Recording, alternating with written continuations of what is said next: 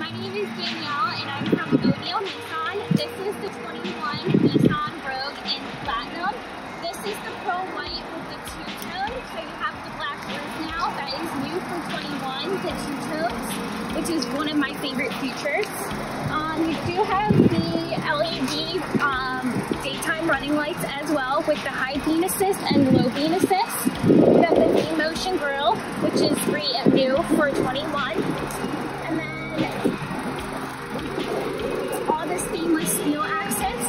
on the road, which is very nice.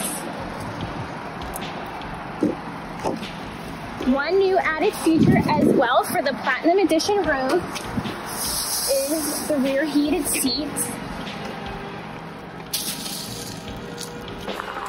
Another new fun feature for the Nissan Rogue is the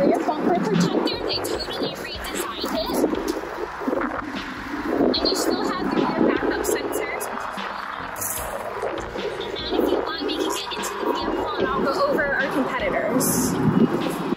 Okay, so another fun thing that Nissan came out with in 21 is we have five different drive modes.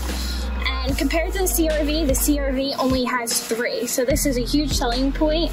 I think that the Nissan Rogue takes over compared to the CRV. We have the hazard, snow, regular mode. This is the eco, and then this is the sport. Um, and one of the another few um, fun features that Nissan Rogue has compared to the CRV is we have a divide and hide cargo package.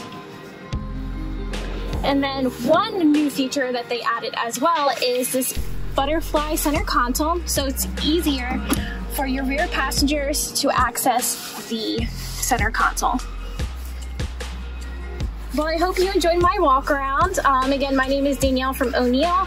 Hope you enjoy it.